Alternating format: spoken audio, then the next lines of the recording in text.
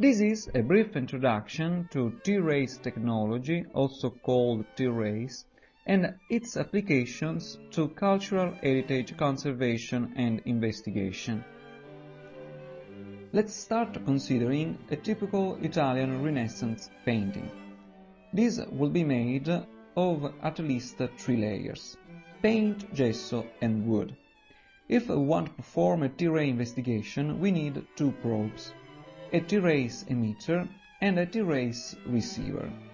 The T-rays emitter sends a T-ray pulse, which reaches the first interface, air paint, let's say after one picosecond.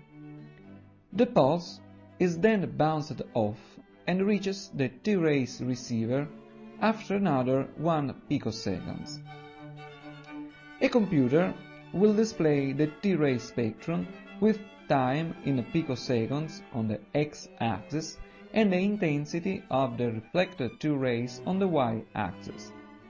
If 0 is the instant the pulse is sent, the T-ray peak will show up after 2 picoseconds. 1 picosecond for the traveling forward the interface and 1 picosecond for the traveling backward to the receiver. The fraction of the pulse which is not reflected and not absorbed by the first layer goes through the paint layers and reaches the second interface. Paint gesso. Again, the same process takes place.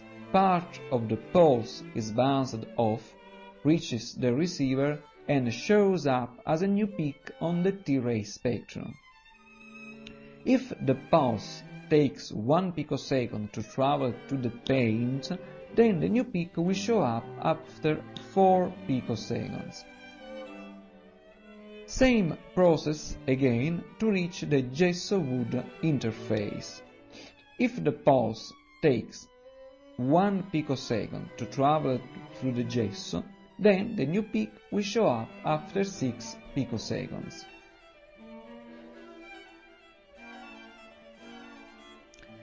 This T-ray spectrum becomes more useful if we switch to x-axis unit from time to space. 1 picosecond is 1 second divided 1 followed by 12 zeros. Speed of light is 3 by 1 followed by 11 zeros in a millimeter on second. Then, in one picosecond, light, and therefore T-rays, travels 0.3 millimeter.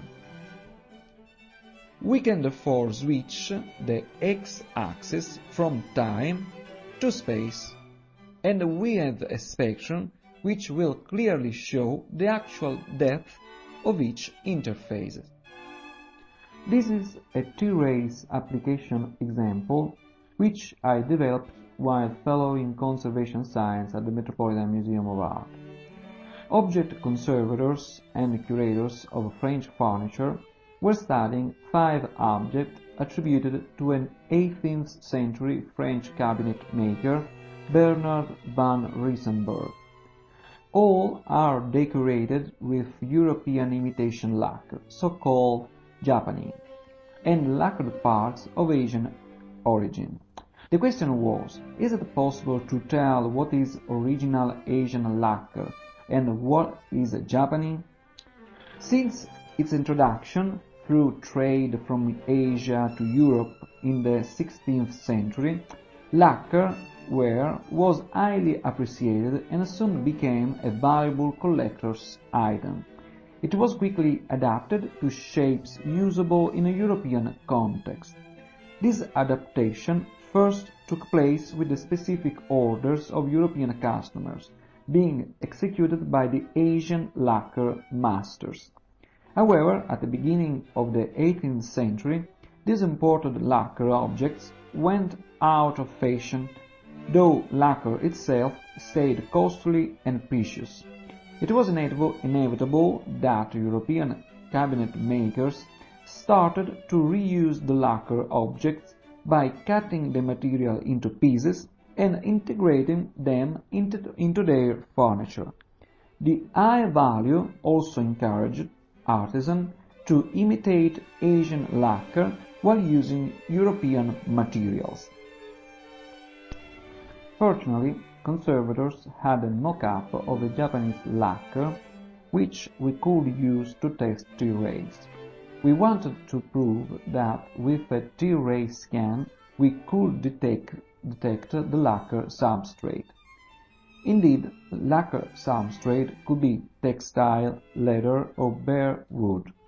Conservators and curators were interested in a method that could tell them about the presence of the textile substrate.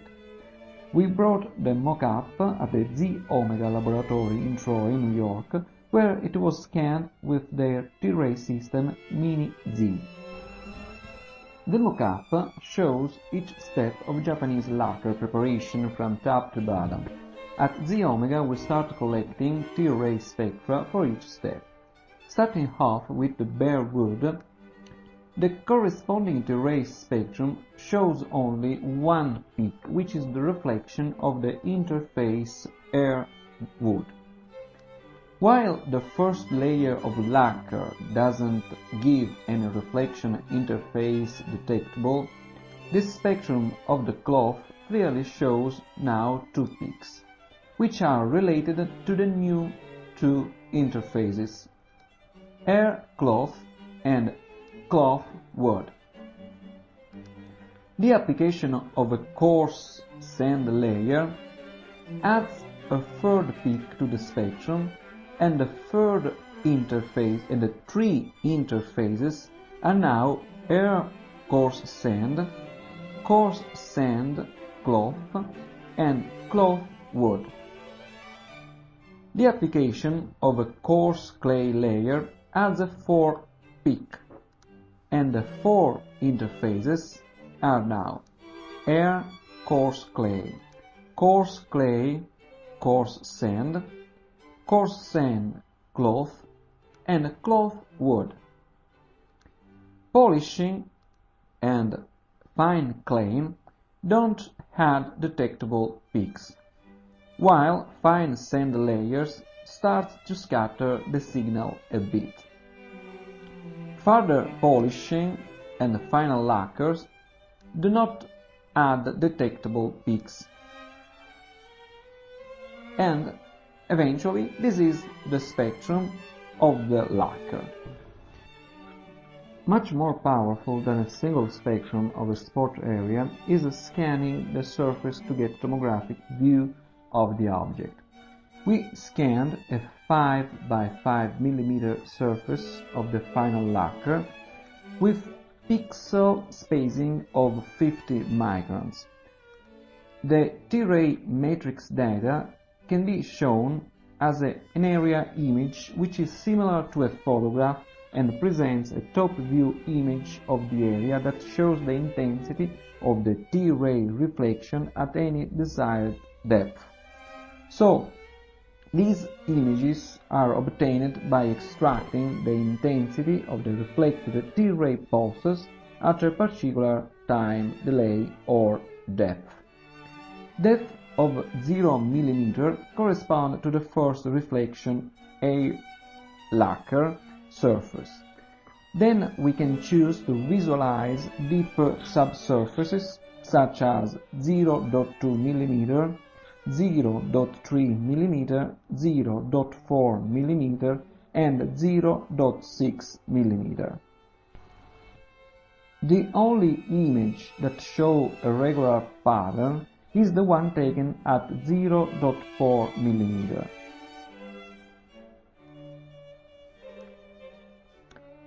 We can compare it with a macro photo of the textile, and it appears obvious that the dots on the T-ray image are spaced as the thread in the textile pattern. Therefore, the needle can be used successfully in detecting the textile substrate in lacquer.